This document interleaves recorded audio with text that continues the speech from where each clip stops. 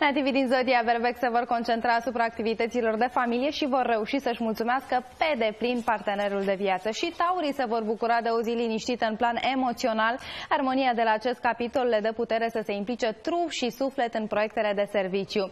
Gemenii vor primi numai laude din partea șefilor datorită performanțelor profesionale și ar trebui să profite de moment și să ceară o promovare. Racii sunt duplicitari în anumite situații și lipsa sincerității lor ar putea îndepărta definitiv persoane dragilor. Leii vor spune verde în față ceea ce nu este pe placul lor, atitudinea lor ar putea stârni conflicte, mai ales la serviciu. Fecioarele vor fi numai un zâmbet pline de energie și optimism, nimic nu va reprezenta un obstacol în realizarea planurilor lor. Balanțele sunt bine dispuse și nu se vor lăsa influențate de evenimentele mai puțin plăcute de astăzi. Scorpionii se vor implica în lucrări dificile, care însă le vor aduce profit. Pe seară vor afla vești bune legate de familie. Săgetătorii vor fi muncitori și vor avea rezultate excelente în activitățile de astăzi. Capricornii se vor confrunta cu probleme de comunicare la serviciu, criticile, din păcate, nu îi vor ocoli.